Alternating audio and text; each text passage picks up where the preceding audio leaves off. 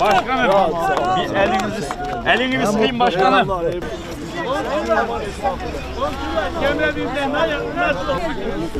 Hoş geldiniz. Bekleyin bekleyin. Bözlüğü bözlüğü bözden oldu. Bekleyin bekleyin. Bizden oldu.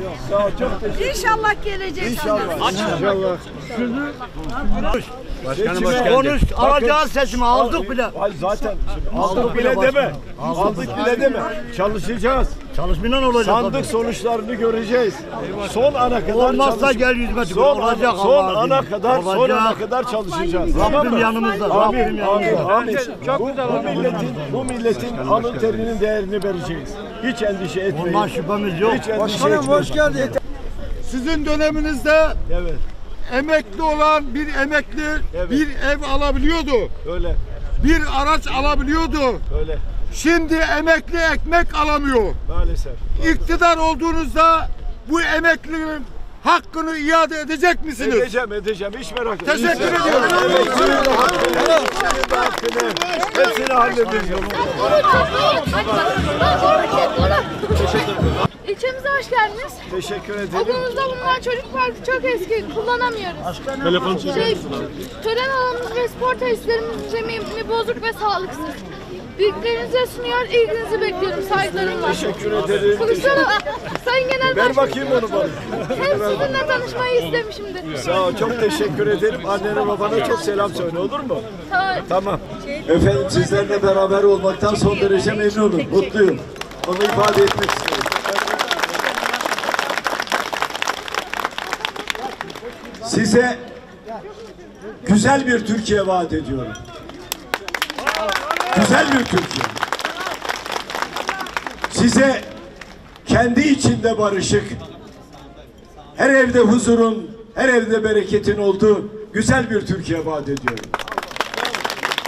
Kamplaşmayı değil, kavgayı değil, barışı ve huzuru vaat ediyorum. Niye kamplaşıyoruz? Komşumuzun kimliğini sorgulamaya başladık. Komşumuzun inancını sorgulamaya başladık. Türkiye'nin buradan çıkması lazım. Türkiye'nin işe ihtiyacı var. Türkiye'nin aşağı ihtiyacı var. Türkiye'nin çiftçinin hakkını teslim etmeye ihtiyacı var. Türkiye'nin işsizlikle mücadele etmeye ihtiyacı var. Dolayısıyla bunları yapmamız lazım. Herkesin işi olursa, gücü olursa, çiftçi ürettiği ürünün karşılığını alırsa herkes mutlu olacaktır. Güzel bir ülkemiz var. Huzur içinde yaşamak istiyoruz. Barış içinde yaşamak istiyoruz. Birlikte yaşamak istiyoruz. Berber, beraber kol kola yaşamak istiyoruz. Bunu vaat etmeye geldim sizlere. Onlar kavga ediyorlar. Benim kavga etmeye niyetim yok. Onlar diyorlar gel tartışalım. Hay hay diyorum. Buyurun gelin. Sizin dünya kadar televizyonlarınız var. Yüreğiniz varsa, cesaretiniz varsa millette seneler tartışalım.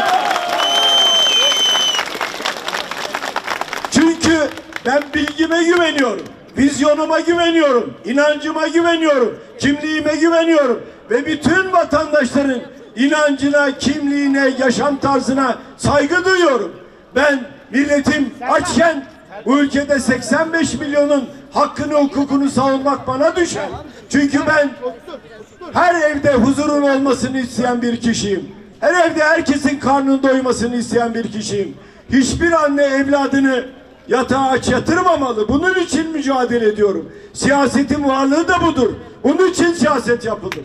Dolayısıyla biz bunun için siyaset yapmaya devam edeceğiz.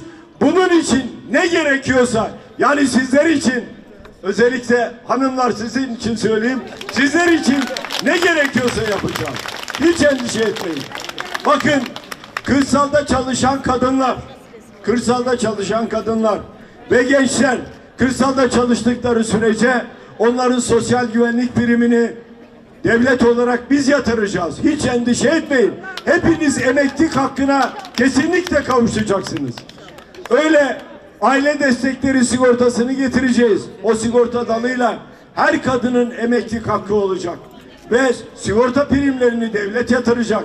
Dolayısıyla sizi birilerine muhtaç hale asla getirmeyeceğiz. Dediğim gibi kadın güçlü olursa o ülke te- hepten güçlü olur. Buna da inanma, inanmanızı isterim.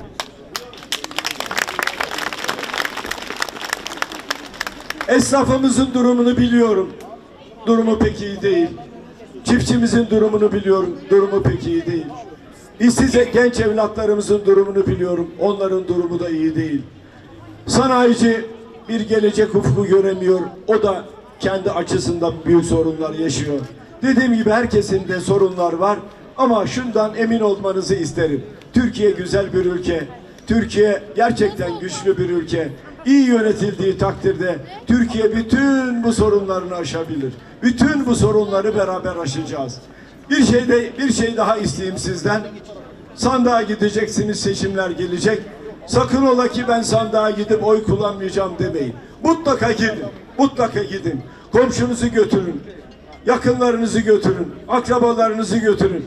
Ama oy kullanırken elinizi vicdanınıza koyun, oyunuzu öyle kullanın. Elinizi vicdanınıza koyun. Doğruluktan yana, dürüstlükten yana, ahlaktan yana, erdemden yana, doğru siyasetten yana oyunuzu kullanmanızı isterim. Bakın biz altı lider Millet İttifakı olarak bir araya geldik. Altı lider de bu ülkede huzur istiyor. Altı lider de diyoruz ki bu ülkede barış olsun, huzur olsun, güzellikler olsun. Altı liderle diyoruz ki bu ülkede demokrasi olsun. Altı lider de diyoruz ki artık böyle İnsanlar birbirleriyle kavga etmesinler. Kişi başına gelir artmış olsun. Hepimizin hedefi aynı. Hepimiz aynı hedef için bir araya geldik. Çünkü hepimizin yüreğinde daha güzel bir Türkiye özlemi var. Daha huzurlu bir Türkiye özlemi var. Bunu istiyoruz. Bunu sağlayacağız. Bu konuda da kararlıyız. Onu da ifade etmek istiyorum. Adaletin olmadığını da biliyorum bu memlekette. Adalet yok onu da gayet iyi biliyorum. Ama hiç endişe etmeyin. Bu ülkeye adaleti de getireceğiz. Bu ülkede herkesin hakkını hukukunu teslim edeceğiz. Adaleti getirirken hiç kimseyi sorgulamayacağız. Efendim senin kimliğin nedir? Senin inancın nedir? Senin yaşam tarzın nedir diye sorgulamayacağız. İnsana insan olarak bakacağız. Allah'ın yarattığı en değerli varlık insandır. Öyle bakacağız. Değerini öyle vereceğiz. Ve hiç kimseyi, adalet arayan hiç kimseyi adaletsizlikten uzak tutmayacağız. Adalet bu adaleti bu ülkeye ya getireceğiz ya getireceğiz. Esas adım Fatime Yüksel, Şaduman olarak geçiyor. Başkanım benim sizden isteğim var. Biz çiftçi olarak ben İstanbul'da yaşadım, geldim. Orada emekli diye olamadım. Sigortasız çalıştırdılar. Tekrar beni işe almadılar. Ben çiftçilik yapmaya karar verdim. 4 milyon emekli ayrılan geçinemiyorum. İstanbul'a 180 lirayla gidiyordum. Şimdi 1,5 milyon oldu. Ben 4 milyonun hangisini vereyim? Bak ben bu sene gübremi alamadım. 60 liradan aldığım gübre bugün 600 lira. Alamadım. Çiftçilik yapıyorum, bekmez satıyorum, salamur satıyorum. Ama geçinemiyorum. Köyümde ben süt bulamıyorum. Tereyağı bulamıyorum. Herkes malını sattı. Neden? Saman alamıyorlar. İlaç alamıyorlar hayvanlarına. Besleyemiyorlar hayvanlarını. Biz sütsüz kalıyoruz. Köyde süt yok. Yumurta yok. Çok zor başkanım. Tek umudumuz sizsiniz. Koylusar'da sağlık ocağı yaptılar. Hastanemiz yok. Üç tane hastane var. Gerçekten. Bak, yaşadığımı söylüyorum. Ne ben dolduruldum, ne bir bir kağıda bir şey yazdım. 63 yaşındayım, Trabzon, Akçabatlıyım, Türk milletiyim. Türkiye'm satılmasın diye tek umudumsun. Tek umudumuzsun.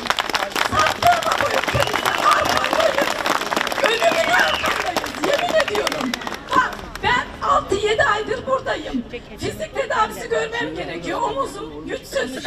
Ayağım burkuldu. 3 hafta oldu başkanım. Yalan söylemiyorum. Allah'ım şahidim. Müslümanlığı biz bugün almadık. Doğuştan Müslümanız biz. Ayağım burkuldu. Ben 3 haftadır yürüyemiyorum. Fizikten, dişimden kısa anlatıyorum. Neden Sivas'a gittim? Hepsini biriktirdim ki mazotum yok, param yok. Üçüne bir gitmek zorunda kaldım. Dün geldim. İnternete girin bakın. Fatime Yüksel kaç yere doktora almış. Neden? Ben vatandaş değil miyim? Çok zor. Burada bir hastane olsaydı, dişime gelseydim, ayağım burkuldu. Üç hafta yürüdüm. O saraydakilerin ayağı burkulsa özel geliyor. Ben aç yatarken nasıl tok yatıyorsun? Aynen doğrudur. Hayır var. Ne diyeyim?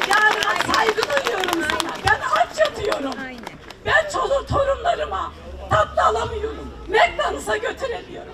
Oğlum bana gizli para verdi ki babaannesin sen götür bunu çocuğunu McDonald's'a resim çekilmek için hatıra kalacak olur mu böyle şeyler başkanım? İçim dolu benim içim dolu.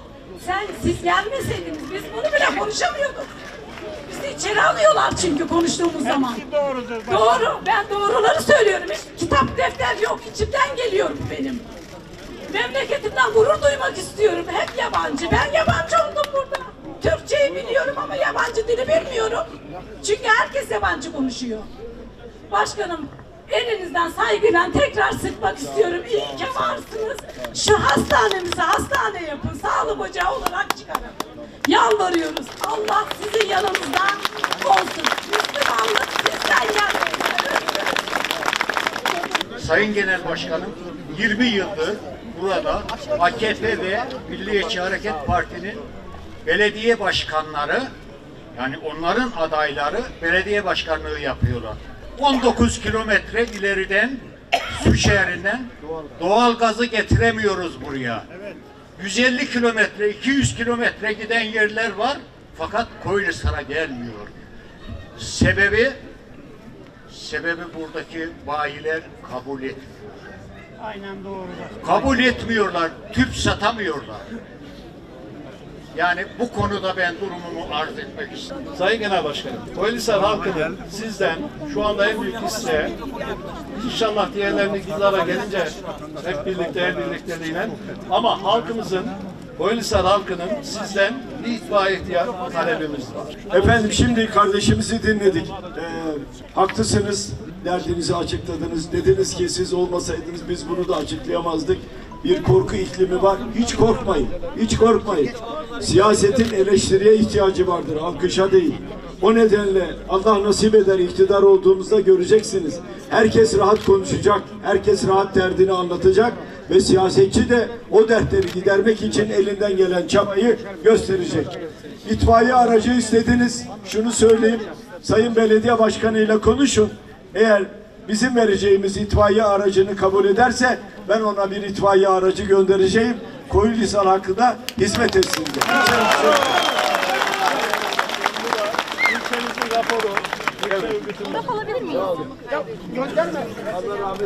Sakın umutsuzluğa kapılmayın. Geliyor gelmekte olan. Hiç unutmayın. Başkanımız umudumuz sensin. Senin elinde başkanım.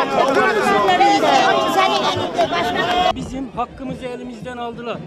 Benim çocuğum 7 yaşında. Bu çocuk yurtta nasıl kalabilir? Elini yüzünü nasıl yıkayabilir? Devlet zarar ediyormuş. Bize 300 milyar 300 bin liralık bir maliyet çıkarttı Milli Eğitim.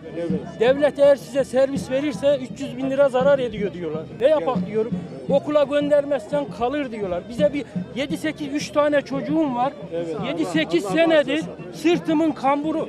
Artık bıktım usandım. Dayanamıyorum. Gücüm yok. Arabama mazotu bidonları koklayarak koydum ki çocuğumu alayım diye. Artık gücümüz yok. Bu çocuk kendi söylesin. Nasıl yurtta kalabilir? Ne kaymakam sesimizi duydu ne vali sesimizi duydu. Servis sadece soruyorum sevgili Koylisallı kardeşlerim. Hanginizin köyünüzün servisi kalktı? Ortakent hariç hangi köyün burada servisi kalktı? Söyler mi bana Allah rızası için? Nokta atışı yaptılar bizim köye. Sayın vekilim. Orta kente nokta atışı yaptı devlet. Servisimizi kaldırdı, çocuklarımız kaldı. Mahkum oldu. Bu çocuk yurtta nasıl kalabilir? Kalamaz bu çocuk yurtta. Kendi çocuğunu koysun bunun yerine. Üç çocuk diye bağırdı. Bizim içimiz yanıyor. Bakamıyoruz. İmkanım yok benim. Dayanacak gücüm de yok artık. Ben çiftçiyim. Çiftçi hakkımızı da elimizden aldı. Buzağı desteklerini kestiler. Saman oldu 2000 lira. İçimiz yanıyor. Artık terk edelim köyü. Yok. Bıktık. Biraz biraz biraz biraz bekleyin inşallah hepsi çözülebilir. Allah bağışlasın. Allah bağışlasın. Tamam arkadaşlar.